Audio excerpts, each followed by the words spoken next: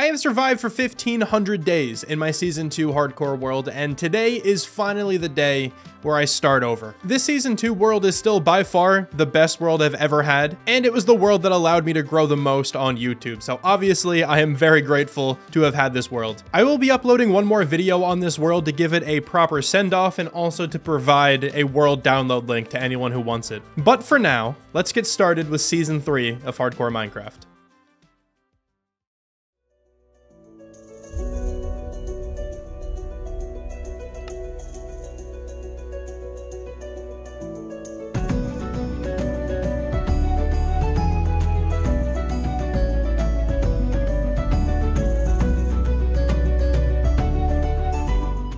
Allow me to welcome everyone to Hardcore Minecraft Season 3. Looks like we got a pretty decent spawn here. Got some big mountains around us. That looks insane. All right, I don't even know what to say about that. That looks ridiculous. But we're in a new world, and this feels so weird.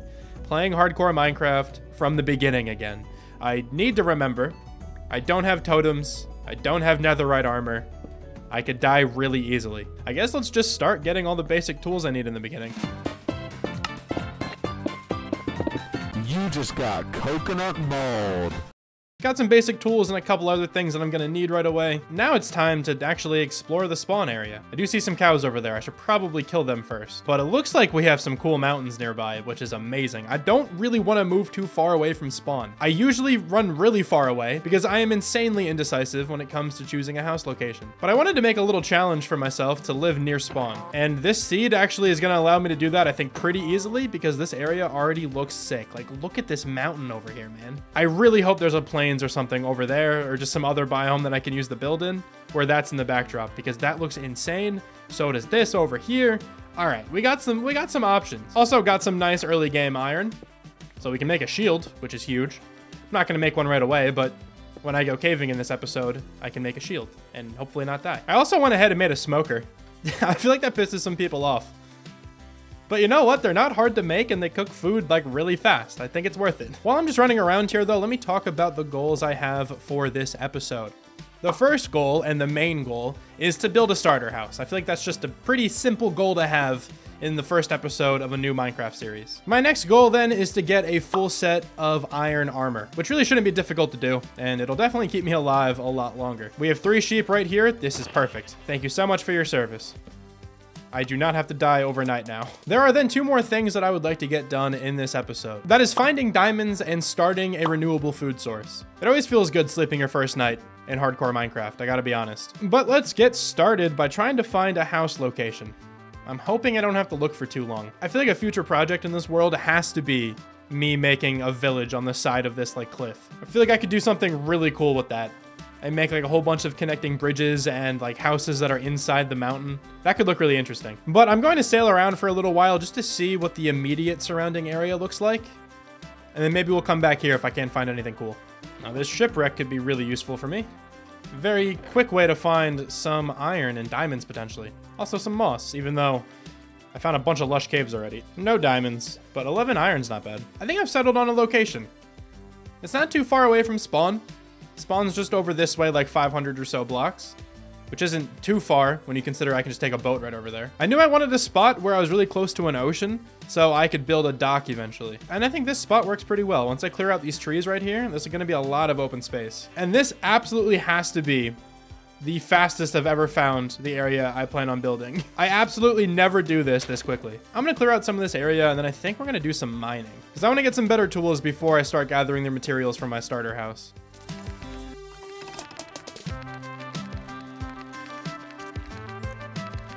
Some of the trees in the area have been cleared out now, got a little bit of wood out of it, and I also threw down this chest and organized it just a little bit, really nothing special. But I do want to start preparing for going into a cave now. And in order to do that, let me go ahead and craft some new tools.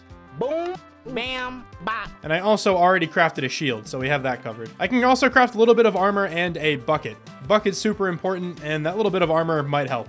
Bada bop, boom, pow. I think we are prepared to go underground now. Got a shield, got some new iron tools, got a whole bunch of torches, and some food. Hopefully I don't die. All right, so this cave goes really deep already, which is exactly what I want. I want to get down to the deepslate level down there. But I saw some iron up here, so let's grab this first, and then we can go all the way down to deepslate level and hopefully find some diamonds. Should I just go for it? I might just jump all the way down. Surely I live this, right? I do. I'm amazing. And look what we found already. The first diamonds of the world. It's three, we can make a pickaxe. Let's go. I would love to find at least two more diamonds, just so we know we have enough for an enchanting table and a pickaxe. And I never really know how to edit myself mining, so let's just throw it to a mining montage.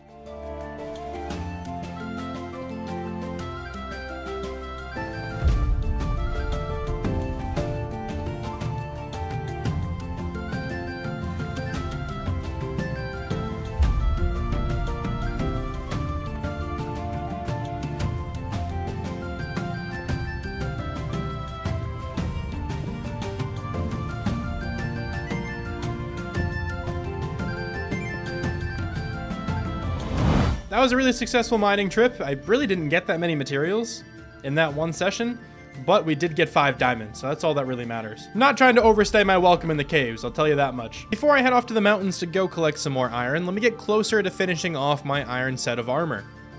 So we already have a chest piece, so let's just go ahead and craft the leggings, and I suppose we can also craft the boots. Now we just need three more pieces of iron and we can finish this off. And while I'm over there, I might as well get some coal because we only have 21 left, and, you know, obviously, your boy needs coal. Alright, so I've made it back to spawn, the mountains are up there behind me, and I have also gathered a little bit of iron. Enough so I can finish off my set of iron armor. So that is another one of my goals checked. I'm really close, hold on.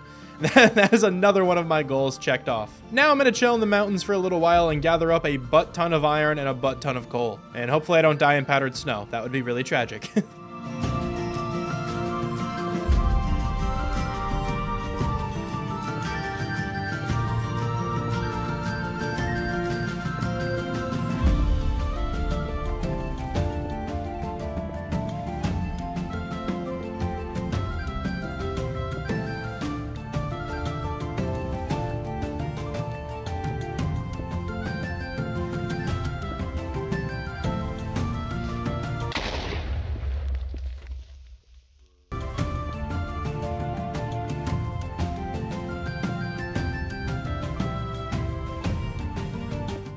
Now hopefully that mining trip can fuel my iron and my coal supply for a little while. I ended up with around three stacks of iron and then probably like four and a half stacks of coal considering what I have in the furnaces here. It is now time though to gather the materials for my starter house. And full disclosure, I have no idea what my color palette's going to be. I think I'm just going to gather up a bunch of materials and just kind of wing something. Definitely not the most optimal way to make a Minecraft video but it's the way I like doing it, all right? So this is what we're gonna do. So let me toss it over to me whenever I decide to edit this video. Before I go over all the materials that I gathered, I wanna talk about today's sponsor. It's me, my YouTube channel. More specifically though, the subscribe button. If you wanna click it, if you're liking the video, that would mean a lot to me. That'd be super cool. Also, I wanted to mention that you can become a member on my channel. There is currently only one tier, but it grants you a couple different loyalty badges, and also it'll get you named a block in this world. So if you would like to officially be a part of this world, head to the link down below and become a Shrammalam. The name is definitely still questionable. Thank you so much, the Shrammy YouTube channel, for sponsoring this video. But let's get back to business, alright? I gotta talk about the blocks that I mined to later put back down in a much cooler shape. We're starting off here pretty simple, I just gathered some cobblestone. I knew I also wanted deepslate, so I decided just to make a staircase going down to that level, and I figured I could just grab the stone along the way, that would probably be enough. So then naturally after the stone, gathered up some deepslate, did this by strip mining, in case I found some diamonds, which I did. Found a decent bit of diamonds in this first episode. I usually only find enough for like a diamond pickaxe, but I have enough for an enchanting table and a few other things, so that's pretty nice. After those two stones, I gathered up my favorite wood type in all of Minecraft, which is spruce wood. Pretty much goes well with like every other building block in this game. I just think spruce is so versatile. The best wood type, in my opinion. After the spruce, we gathered up some moss. Definitely another one of my favorite building blocks in this game, just the regular block itself, and then also like the stone mossy variants you can make. Very, very nice. I then went over and gathered a crap ton of sand. It was at this point where I kind of figured out my color palette. I knew I wanted to use stone and, you know, just gray blocks for the bottom of the build. And then the top, like the second floor, I knew I wanted it to be sand, sandstone, smooth sandstone, those kind of blocks. After gathering up all the sand, I chopped down a few birch trees that also kind of flows with the color palette of that second floor that I was talking about. Then I realized that I definitely did not have enough spruce wood, so I went back and chopped down more spruce trees, did the same thing with stone, definitely did not have enough stone when I was just heading down to the mine, so I had to make a little dedicated area to mine out a whole bunch of stone. Then I realized I forgot to get tuff when I was gathering deepslate earlier, so I had to go down there and get some of that. All right, so here are the materials that we just gathered. I'm hoping this is enough to complete my entire house. I am horrifically bad though at estimating how many blocks I'm going to need. So I am definitely going to need more of something. Now, one of my goals for this episode was to get some sort of a food source and that's what I would like to work on now. I figured I could just kind of drag a couple cows back here, maybe some sheep or something, and just while I'm building the house, I can breed them every so often. First things first though, I need the wheat to get the cows and the sheep back here in the first place. So I'm gonna clear out a little area over here, also I guess gather some flowers along the way, and let's plant down the eight wheat seeds that I have. I also do have one piece of bone meal, so is there a chance this can fully grow? Wow. I actually don't know if there's a chance for that to happen, but it didn't happen there. I will also set up a very basic sugarcane farm. Now, I'm definitely going to be making both of these farms look a lot better in the future. Certainly automating my sugarcane farm at some point, but you know, you got to start somewhere. While I'm waiting for the wheat to grow, I am going to clear out an area for my starter house. And I think it's going to go up here. A lot of open area. Don't really have to clear out much dirt if I'm going to build up here. I just have to clear out all these trees, which isn't a problem because I'll probably use this stuff somewhere in the house. so let me take a quick nap and then I'll be chopping.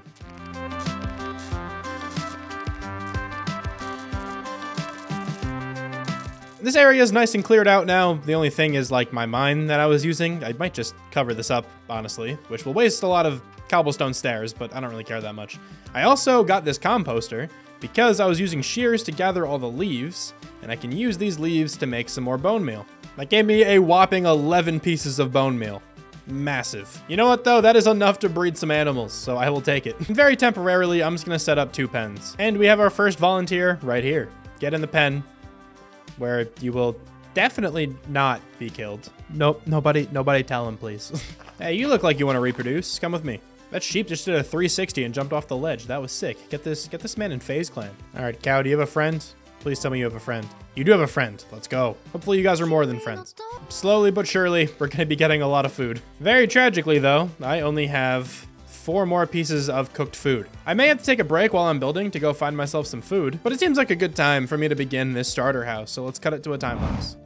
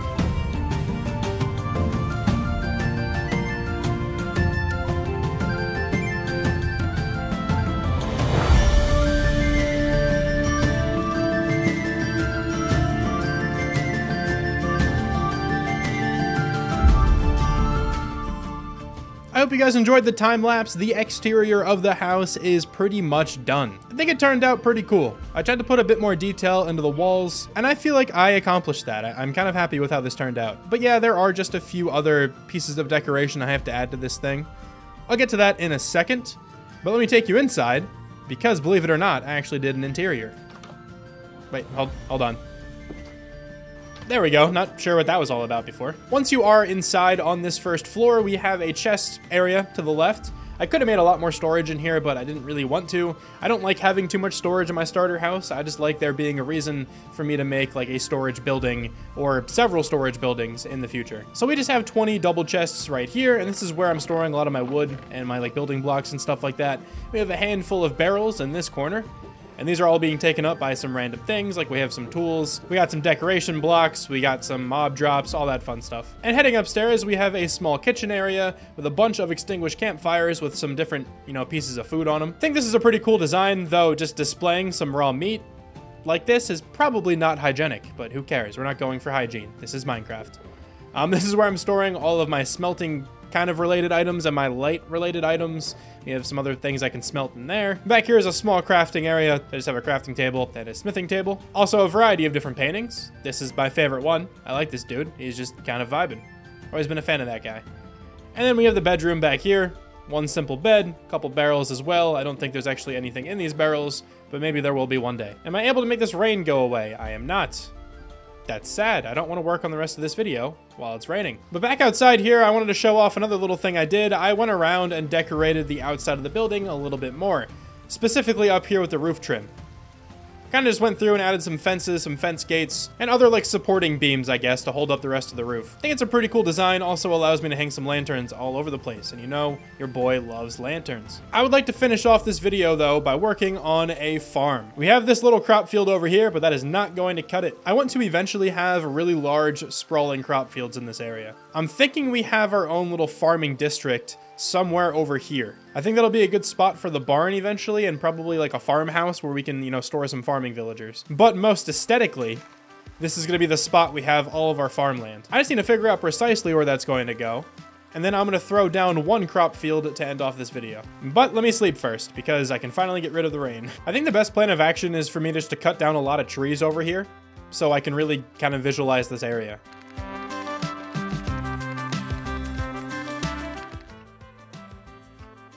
That zombie was on fire, and he dropped a baked potato. I didn't even know that could happen. The trees are mostly gone now, and I'm getting a much better idea of what this area is going to look like. Also, I brought all the dirt that I have. I don't know if I'm actually going to use it all, but I'm going to go through and try to terraform a little bit here to make the land look a little bit less weird. Nothing like a good old terraforming project on episode 1.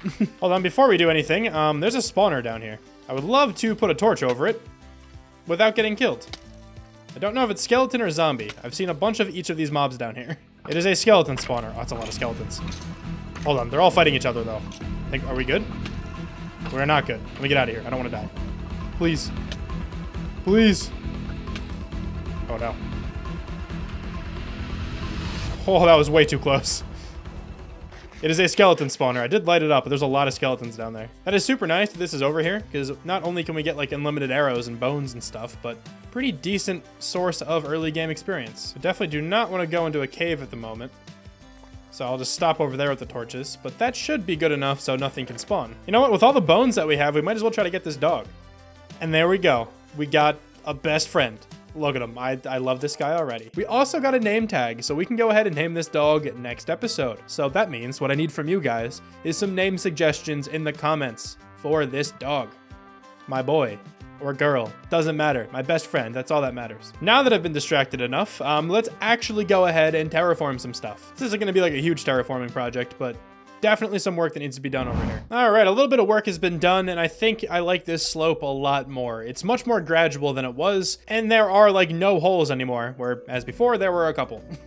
There's still a bunch of work I want to do in this area. Like this whole hill back here, I might even just eventually get rid of because I kind of think it looks bad. But that's a project for future Shram. Current Shram is going to make a new axe, chop down all of his spruce wood, and gather a bunch of spruce leaves. Got myself a ton of different building blocks along with all of the crops that I currently have and some water buckets. Now I just need a hoe and we can begin this farm. I'm gonna go around for now and just alternate this pattern. So we're just gonna have a handful of leaves and then a couple fences connecting the leaves. Now, I know they don't actually connect to the leaves, but it's fine. Now we have a shape like this. And it's at this point that I would like to kind of run around and sprinkle in some other random spruce blocks. I didn't want to go overkill, so I just sprinkled in a couple barrels and stripped spruce logs with trapdoors on some of them. And this is basically going to be the final product. I'm just going to go through one more time and add a little bit more height to some of these leaves. But other than that, I think we are done. Of course, though, we still have to put in the actual farm.